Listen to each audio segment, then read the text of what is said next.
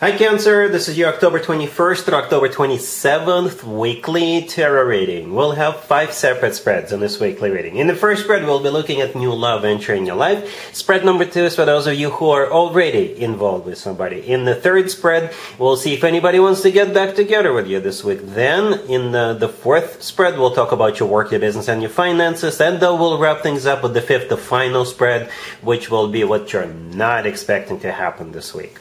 Please like, comment, and subscribe to support this channel. This first spread is a new love this week, uh, Cancer. We have uh, the Hangman, clarified by the King of Cups. Uh, then we have uh, the Chariot, clarified by the Three of Cups. We have the Six of Swords, clarified by the Nine of Cups. In the potential outcome, we have uh, the Ten of Pentacles with the Knight of Cups and the Ten of Cups. And we have the Ace of Cups on the bottom of the deck.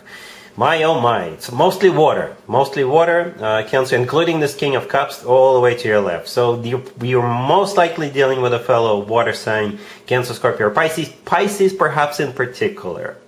But it could be any water sign. If you're not dealing with a water sign, this person is embracing the energy of the water sign. right? By the way, just let's talk about assumptions real quick. I assume the King of Cups all the way to your left is the person coming into your life, and I assume the Chariot is you.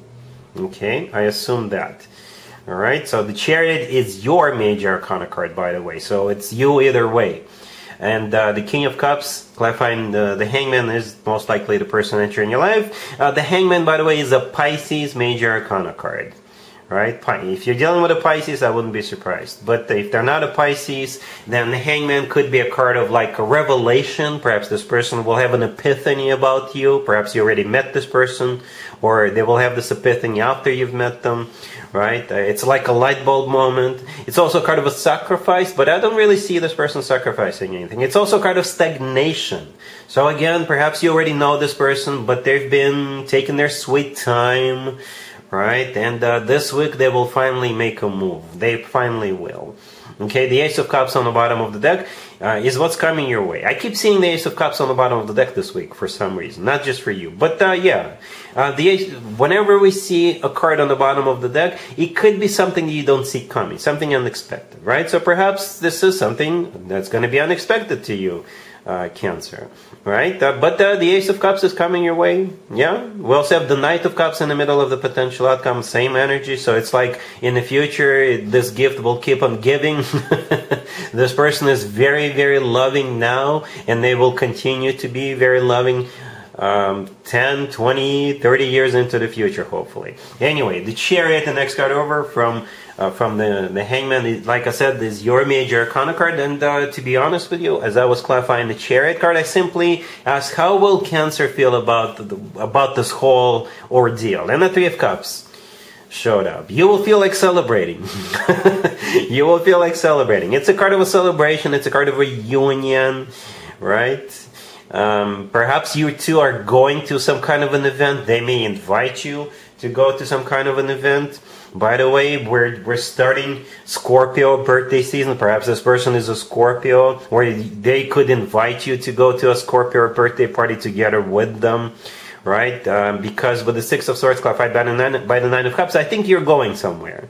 I think you are this week. If it's not a birthday party, if it's not this, if it's not that, you're, you're going somewhere together, perhaps, right? And the thing about the Six of Swords, it always talks about things getting better. I don't know, even if you're doing very well right now, it will still get better. the Nine of Cups clarifying it is a card of a wish come true. It could also be a card of an event. Alright? Just similar to the Three of Cups. Okay? Because in some uh, deck and the nine tarot decks and the nine of cups, people are standing around celebrating or sitting around the table and enjoying a meal and also celebrating. Or with the six of swords, this is you guys simply moving forward, uh, moving forward and not looking back. In the potential outcome, we have that Knight of Cups in the middle, and it's sandwiched in between two marriage cards, the Ten of Pentacles and the Ten of Cups. So I think it's not a matter of if, but when the two of you will get married. Um, and uh, this person is your perfect match, yeah. I, I, don't see any other obstacles. If the hangman could be a card of stagnation, it could have been the card, could, they could have been taking their time. But um, from this point on, it's going to be smooth sailing. All right, and uh, it's like you're getting the best of both worlds with this person because the Ten of Pentacles is all about stability, money in the bank, having um, roof over over your heads, and the, the Ten of Cups is the is all about emotional fulfillment. All right, really happy for you, Cancer. Congratulations. If you are already married or in a relationship, uh, Cancer, this spread is for you. We have the Knight of Wands clarified by the Two of Cups, the Lovers, uh, the Page of Pentacles, and uh, the Emperor on the bottom of the deck. You could be dealing with a fire sign, Aries, Leo, Sagittarius, but also have Gemini, but you're most likely dealing with your significant other, whatever their zodiac sign is. And yes, this spread assumes you're already involved with somebody, right? Like in a serious relationship or married. So, on that note, having said that, the Knight of Wands, the first card that came out, uh, it's passion. It's a spark of passion. I don't know if it's going to be planned or spontaneous, but I think it's a spark of passion, okay, between you two, okay, and uh, I mean it that it's. I don't see any third parties, no, because we have the Two of Cups and the Lovers here, and I believe. Um, both the two of cups and the lovers represent you and your person right because you see we have two people in both of them right in the two of there's two people in the two of cups and there are two people in the in the lovers the lovers could also be a card of a choice by the way Okay, um, the emperor on the bottom of the deck is a husband figure. Okay, the emperor is a husband figure, spouse figure, um, figure of authority, uh, somebody taking control, somebody who's taking charge, somebody who's taking the initiative. All right, and the Page of Pentacles, the very last card that came out, you know, uh, I love the Page of Pentacles because it could be tangible, something tangible, something you can touch, right? And uh, like a piece of jewelry in a small box qualifies because it's something tangible you can touch. the Page of Pentacles could be um, tickets to a game, to a show, tickets to get on a plane and fly out somewhere, you know, tickets to get on a train. Uh, the Page of Pentacles could be literally paying for something. Maybe you're gonna get a hotel room and travel and have some good time together leave the kids with the with babysitter or something like that. But uh, I, so let that page of pentacles be a surprise for you. Let me know in the comments down below if it's not too if it's not too um, personal or private what that page of pentacles says. All right, cool. Let's see if anybody comes back from the past for you, um, Cancer, this week. Keep in mind it doesn't have to be uh, the most recent ex. For some of you, it's not even an ex, it's just somebody from your past. All right, we have the Ace of Swords, uh, we have the Page of Cups clarified by the Six of Cups, we have the Sun, and we have the Moon on the bottom of the deck. You could be dealing with the Leo, Pisces, or absolutely any zodiac sign. There's a couple of significant things that I want to share with you, Cancer, when it comes to this particular reading. The moon and the sun in the same reading. Um, sometimes those two together can be referred to as yin and yang. Yin and yang. So perfect couple, if you ask me. Okay, that's one thing I wanted to uh, bring up. Another thing is that this spread is about some kind of a reveal. Somebody's going to reveal their feelings to you. Okay? And uh, another thing I want to bring up to your attention is that Six of Cups in the middle, clarifying the Page of Cups. The thing about the Six of Cups, there's a few things, right? It is a soulmate card. It is a card of somebody from the past. But uh, the thing about the Six of Cups, it can be an ex, doesn't have to be. The Six of Cups could simply be somebody from your past, somebody who had a major, major, major crush on you back in the day. So perhaps this whole reveal is about them admitting that uh, they had a major crush on you back then and they still have feelings for you now. Okay? The Ace of Swords could be the Ace of Truth. The Ace of with the Ace of Swords, truth. The truth could be coming out. Somebody could be telling you the truth, right? And at the same time, the Sun could also be a card of uh, clarity. So somebody is gonna, you know, tell you the truth and make sure you understand that uh, they're being honest with you. Okay? Yeah. Cancer. One interesting reading, right? Not that many cards, but so many can be said about all of them together. All right? So I don't see any rejections. Cancer. I don't see any rejections. Just keep that in mind. By, by the way, the sun is also the happiest card in the deck, and the moon is a card of a secret, right? So secret being is being revealed this week. All right, cool. Let's talk about your work, your business, and your finances, uh, Cancer. This week we have the Magician, the Ace of Wands, the Ace of Pentacles, and the Four of Pentacles on the bottom of the deck. Well, Cancer, uh, you got an offer coming your way. And uh, if I were you, I would accept it and uh, run like you stole it. Okay?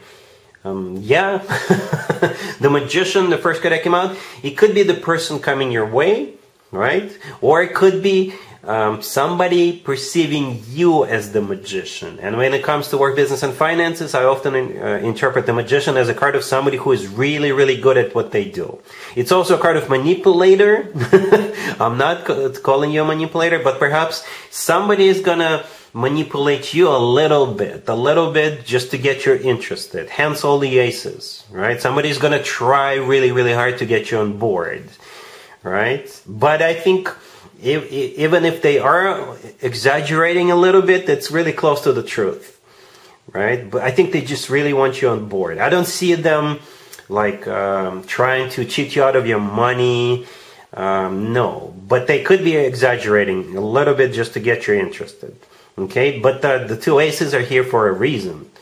Right? It's not just one, it's two aces. The ace of wands is all about passion, and in this case, it's it's passion about uh, some kind of a project or a job or or what have you, a contract. And the Ace of Pentacles is a golden opportunity, once in a lifetime opportunity. Okay, um, the Four of Pentacles on the bottom of the deck is uh, a card of. I often refer to it as the savings account card. It's a, it could also be a card of somebody holding back, not opening up, but not in this case. No, no.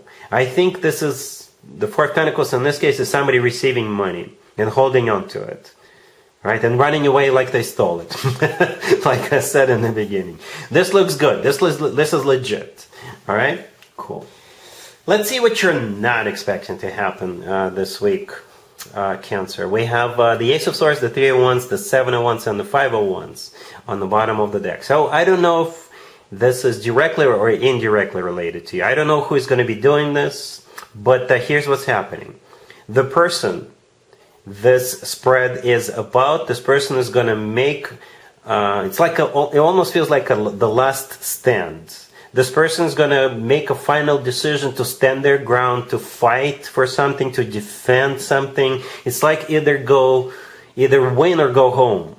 Okay, so I don't know if this is going to be you or somebody you're dealing with. If you're trying to get somebody to talk somebody out of this, they're not going to listen to you. They will continue uh, fighting for for their cause or something, right? Because the Ace of Swords and the Three of Wands, this is somebody making a final decision, and this final decision has to do with that Seven of Wands and the Five of Wands. The Seven of Wands is a card of an active defense. So the person in the Seven of Wands, they're on defense, but they're not waiting. They could be attacked first. They could be attacking first, or they're fighting off the competition. They're defending what they believe is right. They do, they're defending their position, their vision, their way of doing things, right? It could be like an act of desperation, but this person is not giving up, right? The five of wands on the bottom of the deck is very similar to the seven of wands. It is a card of a fight, a conflict, competition.